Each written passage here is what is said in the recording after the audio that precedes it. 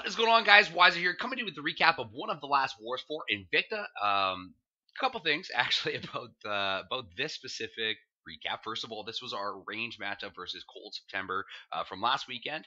Uh, I did do the recap last week with Dr. D, who actually is Invicta and Swarm member. Uh, you know, been involved with both those clans very heavily, and has offered to step up and help me out. Um, because if you follow the channel, and I spoke about this in my last 2.0 recap. Um, I, you notice I haven't shown a Invicta recap in quite a long time. Uh, you know, it just the time sink is getting too much for me. I mean, I, am very, very busy. Got a daughter who's starting school, full time job, new position, all that stuff going on for the last, you know, six or eight months. So it's been a struggle even just to get the 2.0 content done. Anyhow, Dr. D is going to step up. I was really hoping this war, I could use this as sort of the introductory. He was going to kind of co commentate, and we did, but the sound was just too off.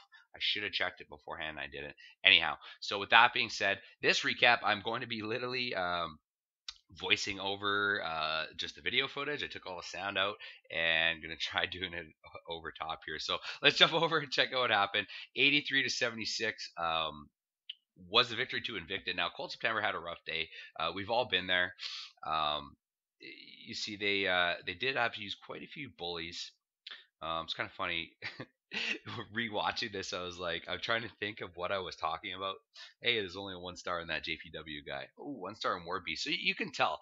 Um, it was that domino effect that we've all been victim to in all our clans. We've all been there, right? You just your nine struggle, then your tens got to dip and help out, and then your tens struggle a bit, and then you use your elevens to try and clean up the tens, and then tens get only hit once, and it's just, it sucks. I, we've all been there. You know that definitely doesn't take anything away. Cold September is an awesome clan.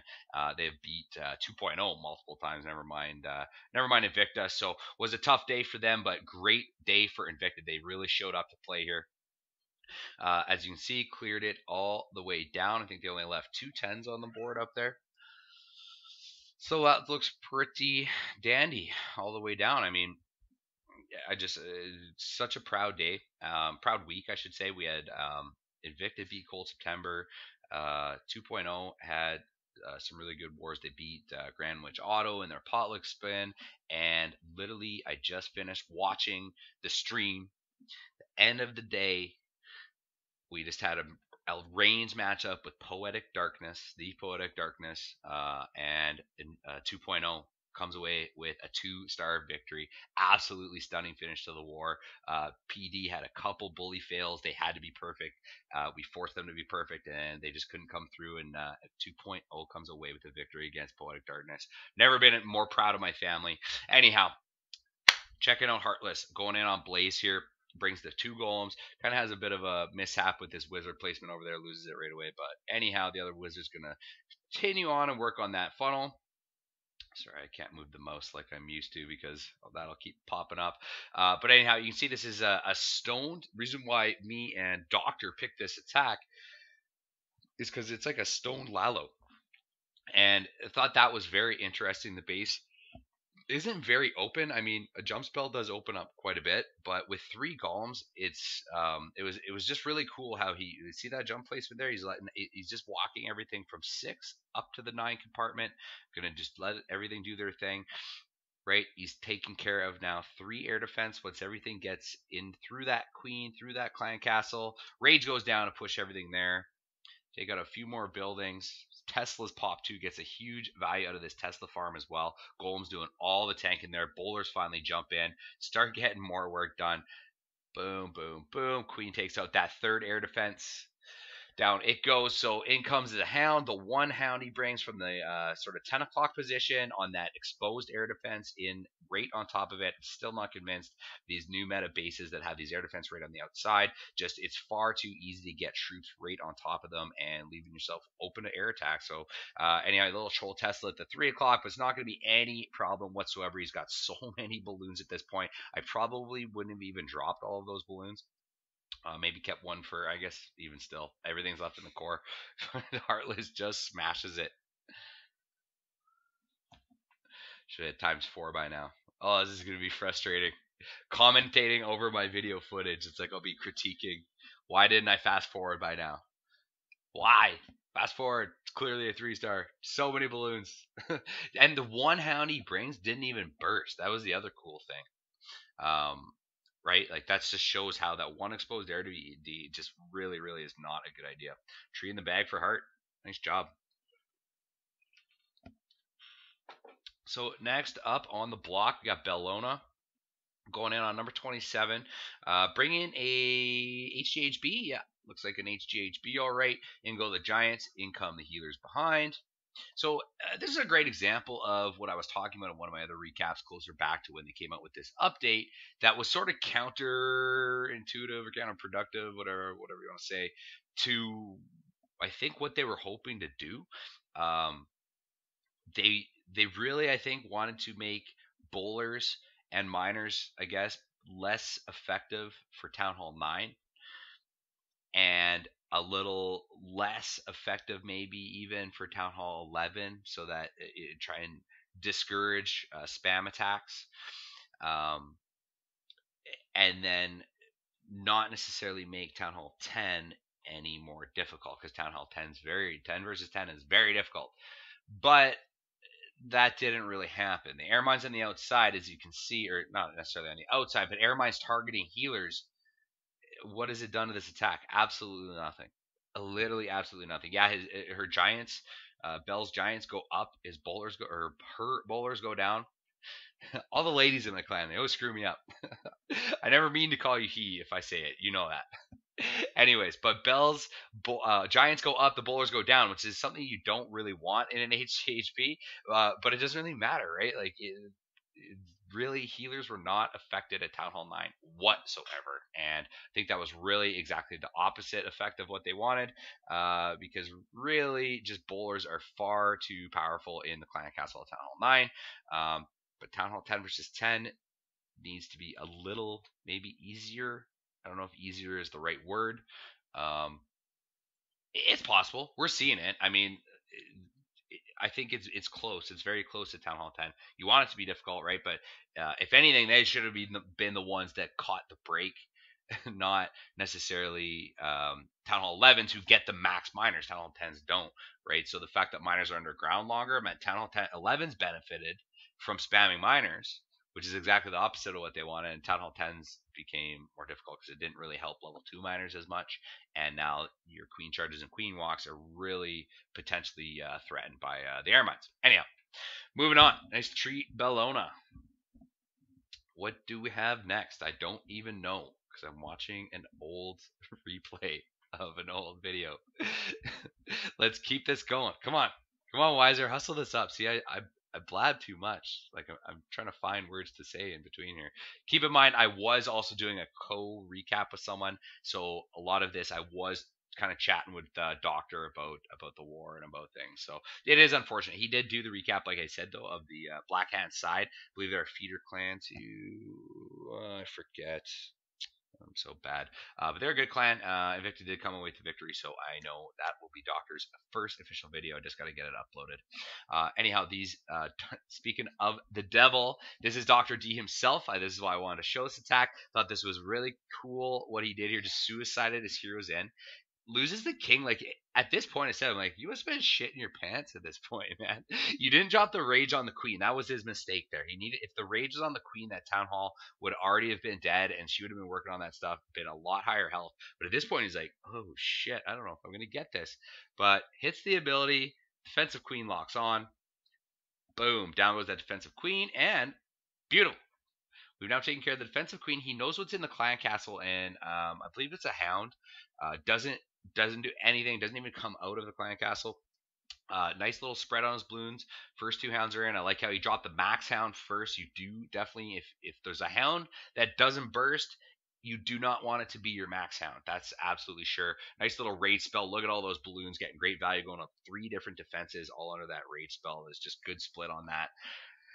Getting good value still has one more rage is going to go down. believe kind of right there. Yep. Over top of that cannon and air defense. Get everything in on the third air defense there. And down it goes. Just got to take care of the arch tower. Get through this sweeper. That is the only thing that's causing them trouble.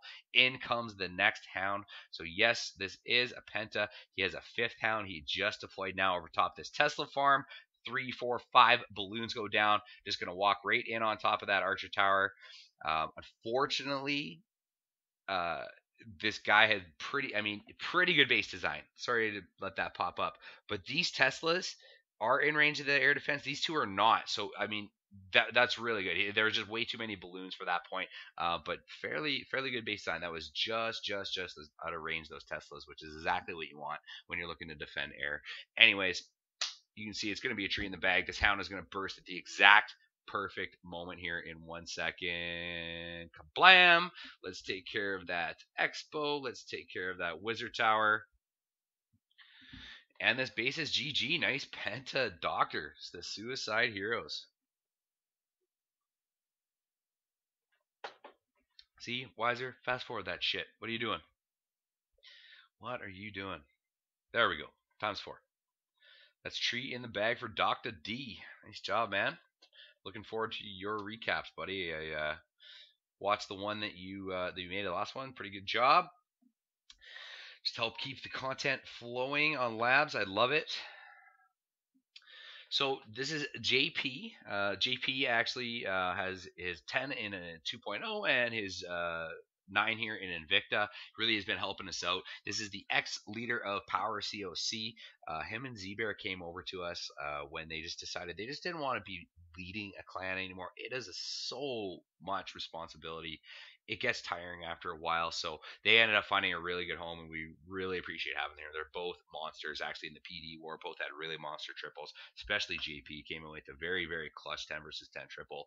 Um, you know, our 10s stole the show. Um, really, that's that's the story of um, of the PED war for 2.0 guys. It it literally we our tens literally stole the show. I, I don't I didn't get the official count. I'm obviously gonna get set up for the recap. I'll probably do that tomorrow because I'm off the next two days. Um, but it, just unbelievable war. Uh, you know, PD had a few uh, TH 11 versus 10 bully fails at the end. They could have tied it up, tried to force percentage at one point, and then it just uh, they just let it slip away, and we've been there. Um, so it was really really good job. Credits to the base building team. You know, just I'm so ecstatic today. We beat PD. That's unreal, unreal. I would have never never thought it even. You know, as good as uh, our guys are, I watched PD just run the board on some clans and uh, you know, was, we brought it, gave it our best, and it paid off. Uh, you know, uh, our our team has really, really come a long way, and I uh, love all you guys at 2.0, the whole family, Invicta. It's awesome. JP, you're the best, man. Just smash this base, absolutely. Good old Bo Lalo. Not much to see here. If Wiser was paying attention, he would have had it times four by now because that uh, definitely done. Love the wall breakers. May as well drop them. You're not going to need them later. That's tree in the bag for my man JP. Nice job, buddy. Little revenge on cold September for you. I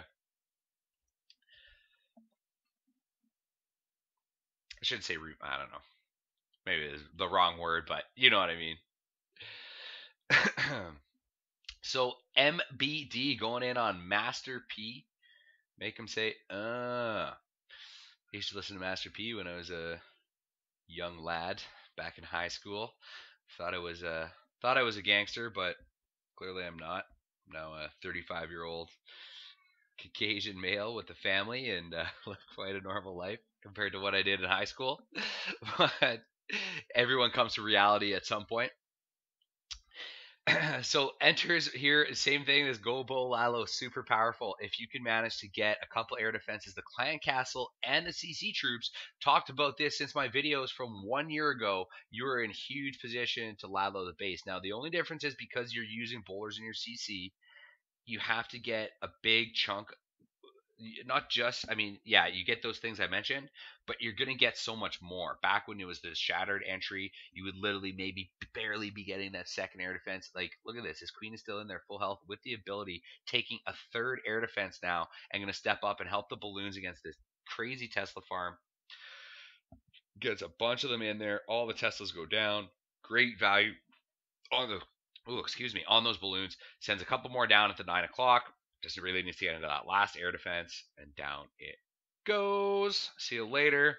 Take care of the Tesla. Take care of a Wizard Tower. There's only a few more defenses down at the sort of uh, 7 o'clock location that he's got to worry about, but nothing really that is going to touch that gigantic pack of balloons or his queen there. So looking good. Just a matter of cleanup at this point. times two. Finally, Wiser's on the ball there.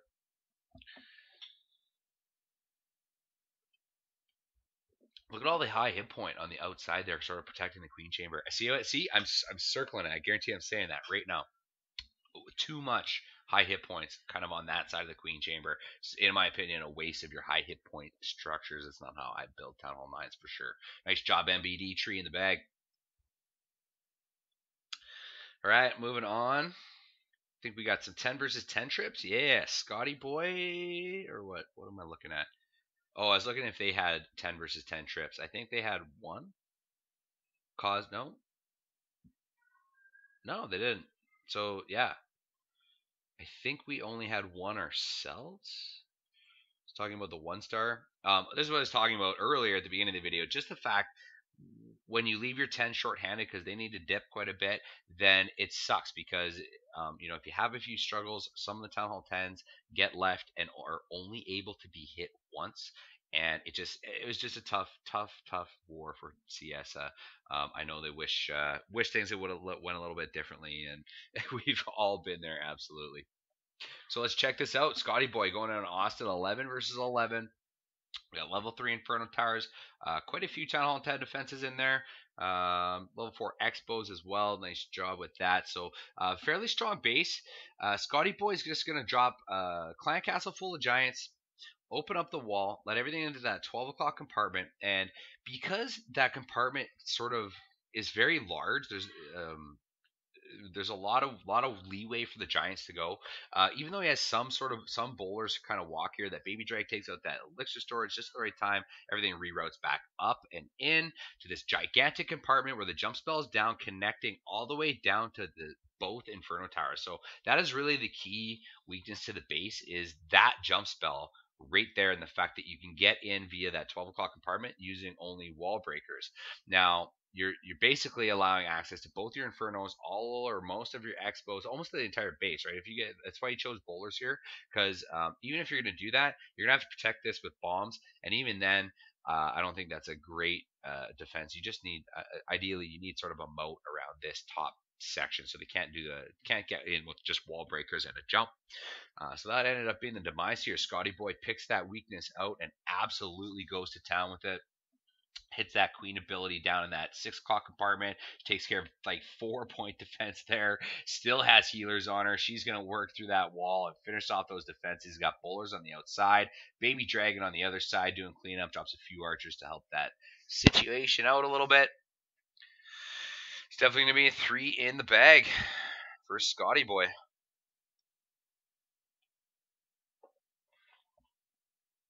Oh, there goes that black mine and that healer. It's just not enough. That cannon goes down. The last defense remaining.